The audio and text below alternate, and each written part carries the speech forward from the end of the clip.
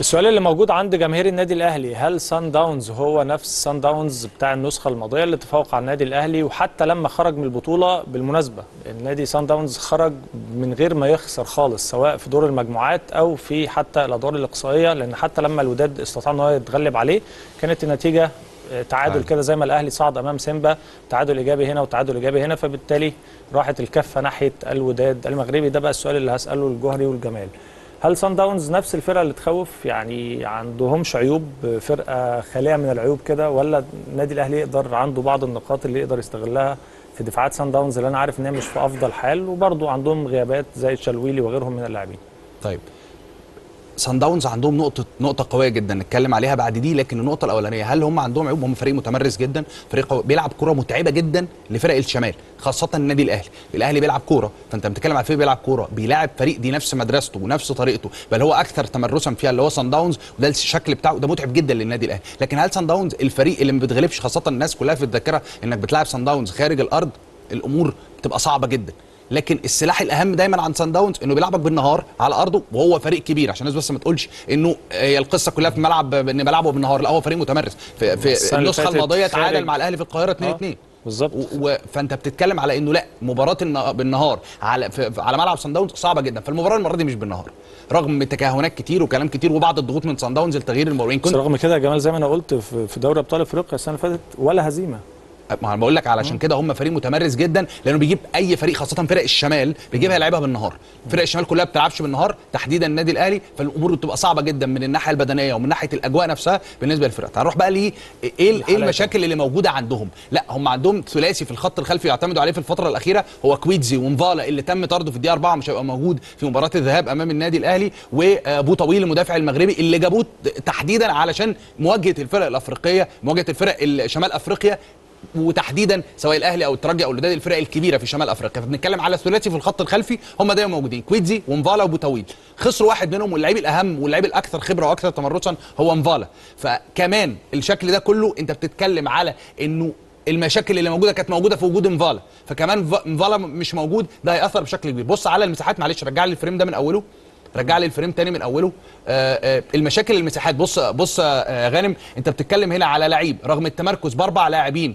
قدامهم لعيب. في الحاله الدفاعيه هتلاقي مربع كبير جدا مساحه كبيره جدا سواء لل wing right أو الراجل ال- آه، صانع اللعب فاضيه الراجل بيستلم لوحده تماما تماما ومفيش حد ضاغط عليه ومفيش حد عامل له الرقابه. ليه؟ مش بس وانت داخل بت- بتحاول انك بتدافع في 30 متر فعشان قصه عمليه الطرد وانه كان ناقص لعيب لا انت بتدافع في 30 متر فانت المفروض تعمل عمليه المر... المسك والتمركز لأن كل اللاعبين باستثناء لاعب واحد بيلعبوا تحت الكوره فعندهم مشاكل كبيره في الرقابه خاصة ما بين الخطوط ما بين خط الظهر والخط آه، آه، الوسط. فانت بتتكلم هنا انه الراجل استلم كمان الهروب بتاع الراجل الفيرود آه، آه، أزولو على ال center back أزمة كبيرة جدا في عملية المسك خاصة بعد خروج مفالا نفس القصة ونفس الأزمة العودة لأماكن التمركز أو ال reposition للمدافعين ولاعيبة خط الوسط مشكلة كبيرة جدا عند سان داونز خاصة لما بيفقد الكرة وبتعمل عليه counters وده. أنا شايف ان ده الشكل الامثل للتعامل مع الفرقه دي انك تقفل لهم مساحات تشتغل عليهم counters ما تلعبش بنفس سلاحهم. مساحات كبيره جدا فرصه ضاعت بصعوبه جدا جدا لويليامز اللي بالمناسبه. دي واحدة من التصديات الصعبه جدا واحد من اهم اللعيبه اللي موجودين في سان داونز ويليامز حارس المرمى.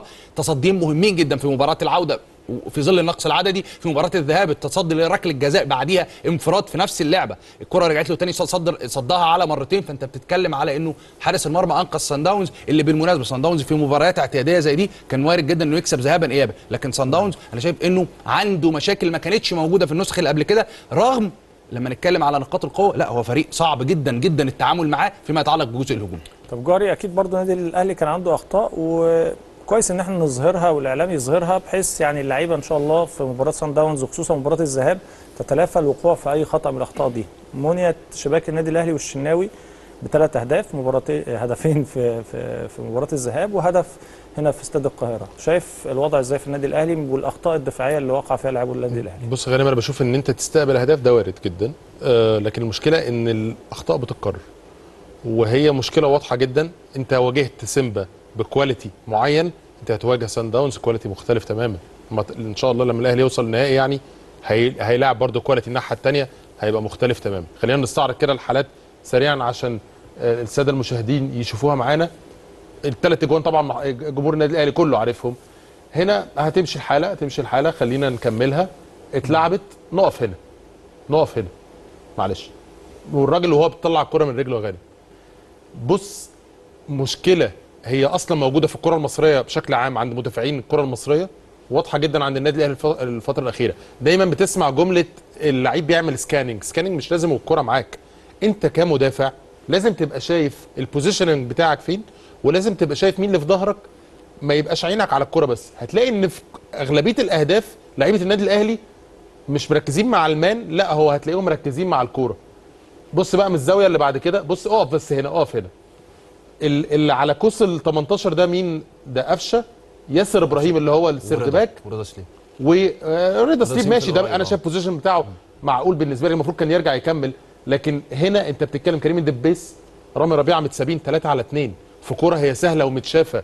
يعني ما فيش كورة أنت أنت مش out of position يا غانم عشان يبقى المنظر ده. آه، نكمل الكرة اللي بعد كده طبعا الركنية. نمشي كمان بعد الركنية. طبعا تمركز سيء جدا في الركنية بدون داعي. المفروض تبقى أنت حاطط واحد على العارضه الأولانية. نكمل نكمل الحالات.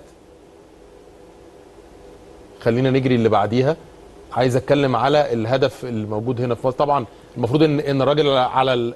دي أخطاء بشوفها ممكن على مستوى الناشئين. ما ينفعش فرقة بحجم النادي الأهلي تبقى انت عندك التمركز في ال- الكرات ال- الركنية بالشكل ده. نروح على الهدف اللي بعده وهو الهدف الثالث هتلاقيه بيكرر نسخة طبق الأصل من الهدف الأول.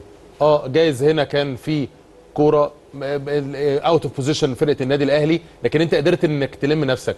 طبعا هتلاقي إن الرده بص ديانج هتلاقيه بيتمشى. خلاص فاكر إن الكره بتخلص يا غانم؟ بعد كده هي مشكلة النادي الأهلي إن بص لعيبة النادي الأهلي هيتساب كام لعيب من فرقة سيمبا جوه ال 18 مروان عطية قفشة ديانج مش موجودين في اللعبة خالص يا غانم. مشكلة كبيرة جدا. قصاد فرقة هتعاقبك لأن هي هتلعب في ظهر مدافعين لعيب زي سيرينو ممكن يعمل مشكلة للنادي الأهلي بشكل كبير جدا جدا جدا.